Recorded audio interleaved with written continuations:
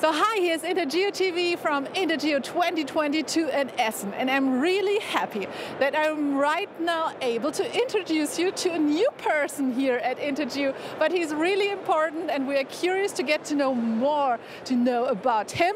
And uh, yeah, he is the recently appointed Vice President of Trimble's Survey and Geospatial Division. It's Scott Crozier. Good morning, Scott. Good morning, Denise. How are you?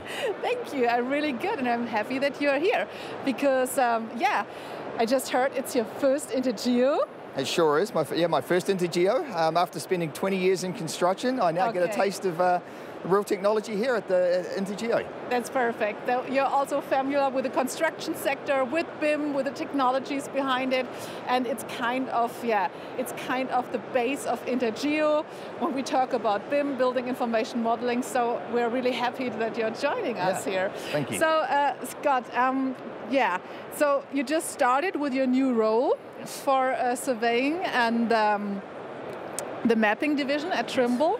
Um, tell us about your new role, how you came there, how did you find uh, your new position there? Okay, so um, I guess it, it all happened rather quickly, and, and I, it, it, wasn't necessarily intended. Ron Bisio, who was running this uh, in the past, mm -hmm. I know he's very familiar yeah. with Intergeo.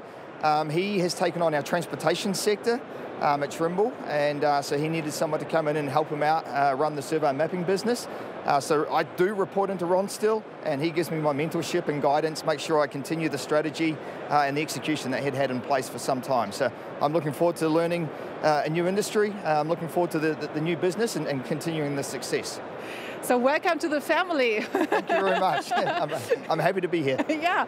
So um, did you get some impressions? I know it's the second day of Intergeo, but maybe you had the chance to see the booths, to see the technologies and innovations presented here. What's your impression of Intergeo? My, my first impression was really the buzz of just the people around again, that the excitement in the people. I don't know if that's because maybe it's been some time since they've been at a conference or a trade show, um, but, but definitely their, their, their, passion for the technology is like nothing I'd seen before. Um, the new advancements that we're bringing out, um, plenty of new innovations actually right throughout. As I walk through the buildings here, a number of new innovations, particularly in the, in the mobile mapping, scanning, and, and, and point cloud management, um, uh, I guess, areas of technology. Mm. New peoples bring new ideas, bring fresh ideas. So what are your ideas or visions you want to implement in the future within the next years within your section uh, in Trimble? As a mechanical engineer, I'm passionate about technology. I want to make sure we continue the innovations um, and bringing them uh, you know, step by step to the market. Um, I also see an opportunity here, really the, the next wave. Um, we've done the, the connecting of the digital and physical worlds. I see the next opportunity is actually merging these digital and physical worlds. Mm-hmm. Um, so, so really that's the mobile mapping. It's, it's this concept of the industrial metaverse, um, really making the point cloud and mobile mapping uh, information easier for people to consume. So mm-hmm. if we can achieve that, I, th I think we'll have some success. Yeah, these are really important technologies from Trimble and uh, yeah, they will also shape the future in important issues such as urban uh, growth or climate change, what is also the topic of the international press conference of Intergeo today. We'll talk about climate change. So yeah, what are the issues and technologies you bring with you to solve these problems?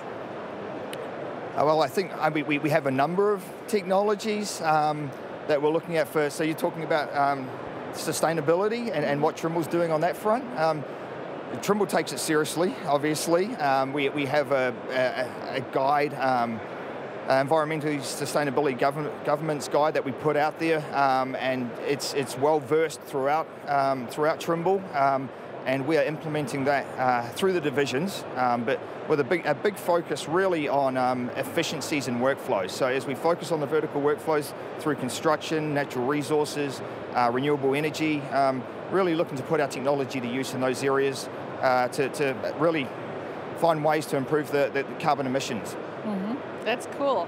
So, um, and when we look at Intergeo, Intergeo is an international platform, and uh, yeah, Trimble also is interested in international markets, yes. also to the Europe market. So, yes. how important is it in your strategy? Uh, the international markets for Trimble are enormous. A, a, large portion of our business actually comes from the international markets, and what we see is, is regions um, like Europe, particularly uh, the Nordic regions, they are potentially years ahead in the adoption of, of, some of the innovations and technology. It really helps us fine tune um, our, our, advanced technologies as we, we bring them to a more usable state so we can um, provide them to the rest of the world.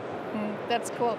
And uh, well, if you look into the future, where we already talked about the yeah. future and what we will bring, what you will bring to the company, but if we look into the future and if you could make three wishes, so new technologies, new innovations, I don't know, batteries, power banks, or whatever. What, what do you think do we need, or what will be the next transformation? Well, I, I, guess. Um, but big data is becoming a thing, right? But big data brings problems, okay, and so yeah. management of the big data, whether it's uh, cloud compute power, um, so bringing clouds energy. Yeah, yeah, bringing the so, bringing um, uh, bringing efficiency to management of large uh, large data sets. Um, artificial intelligence so that we can interpret and, and, and, you know with the labor constraints bring leverage uh, artificial intelligence to try and take place of uh, uh, work that's happening with the, uh, today by people, but, but eventually we need to uh, manage that through the uh, manage the labour shortage.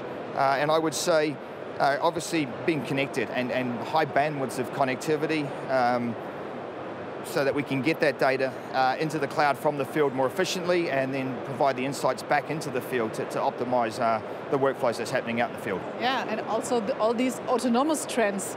Autonomous, um, the, the, little dog with the sensors on it, then we have the drones, and we have little vehicles driving here. They're all autonomous and uh, collecting data. And, yeah. That, that's right, yeah, yeah. The autonomy is becoming a big thing, right? Yeah, you know, we walking and flying. Yeah. and uh, we, we, can augment crazy. people in the field in many it's ways, and, and uh, what, what we see actually is the, the geospatial professionals or specialists, they will be spending more time analyzing and, and, and uh, management, managing the data instead of out in the field collecting the data um, as we bring in these autonomous technologies.